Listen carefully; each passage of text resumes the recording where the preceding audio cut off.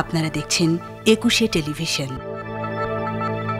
কক্সবাজার সমুদ্র সৈকতে সৌন্দর্য বর্ধনকারী সবুজ বেষ্টনী ঝাউবাগান ভাঙনের কবলে বিলীন হয়ে যাচ্ছে। ঢেউয়ের ধাক্কায় গত কয়েক মাস সৈকতের বালিয়ারি ভাঙন তীব্র হয়েছে। জিও ব্যাগ দিয়েও ঠেকানো যাচ্ছে না ভাঙন, তবে ঝাউবাগান রক্ষায় প্রয়োজনীয় ব্যবস্থা নেওয়ার কথা জানিয়েছেন সংশ্লিষ্টরা। কক্সবাজার প্রতিনিধি আব্দুল আজিজের রিপোর্ট, জানাচ্ছেন রত্না জামান। এ সবুজ বেষ্টনী ঝাউবাগান বিশ্বের দীর্ঘতম সমুদ্র সৈকতের সৌন্দর্য বৃদ্ধির পাশাপাশি প্রাকৃতিক দুর্যোগে জানমালের ব্যাপক ক্ষতি থেকে রক্ষা করে। কিন্তু জলবায়ুর বিরূপ প্রতিক্রিয়ায় সমুদ্রের ঢেউয়ের ধাক্কায় গত কয়েক মাস সৈকতের বালিয়াড়িতে ভাঙন তীব্র হয়েছে। জিও ব্যাগ দিয়েও ঠেকানো যাচ্ছে না ভাঙন। বালিয়াড়ি ও ঝাউবাগান সাগরে বিলীন হয় বিশ্বের দীর্ঘতম সমুদ্র সৈকত সৌন্দর্য হারাচ্ছে। হারিয়ে যাচ্ছে জীববৈচিত্র্য। মারাত্মক পরিবেশ বিপর্যয়ের মুখে পর্যটন এই শহর।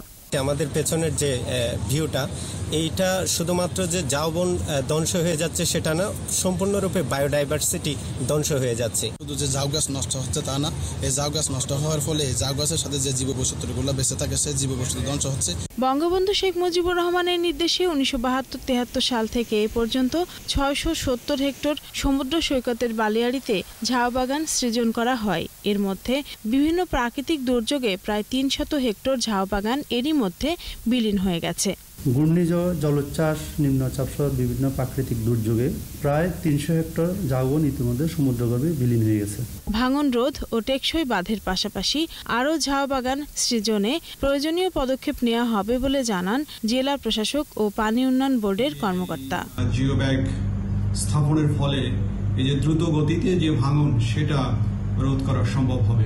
গত বছর আমরা বারোশো মিটার এই প্রতিরক্ষা কাজ করেছিলাম এবং চলতি বর্ষায় যেহেতু ভাঙন আরও বেড়ে গেছে আমরা আরও চারশো তিরিশ মিটার দৈর্ঘ্যে এটা বাস্তবায়ন করছি।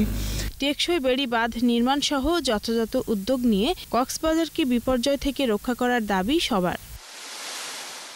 রত্না জামান একুশে টেলিভিশন।